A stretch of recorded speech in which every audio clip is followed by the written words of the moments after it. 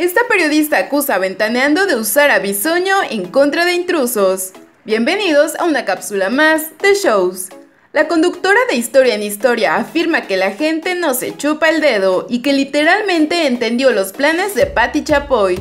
Las periodistas Aurora Valle y Claudia de Icaza afirmaron que en Ventaneando utilizaron el bombazo del problema entre Raquel Vigorra y Daniel Bisoño esto para dañar el rating de su última semana del ahora extinto programa de espectáculos Intrusos. Claudia de Icaza concuerda con todas las personas que le escribieron en Twitter para decirle que Ventaneando estuvo muy producido y que Chapoy planeó todo lo de Bisoño.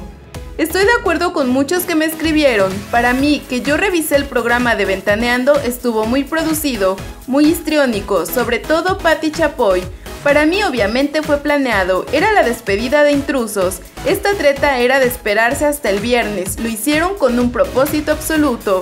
Y era hacer ver que Ventaneando tenía un mejor chisme con la vigorra, esto para bajar el rating del día de la despedida de intrusos.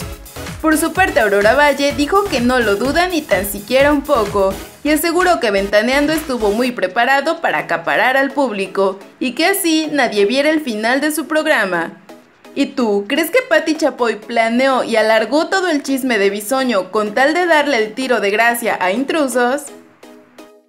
Déjanos saber tu opinión en la caja de comentarios y si te gustó esta nota, regálanos un like. Suscríbete y activa la campanita de notificación para que no te pierdas ningún show de los famosos.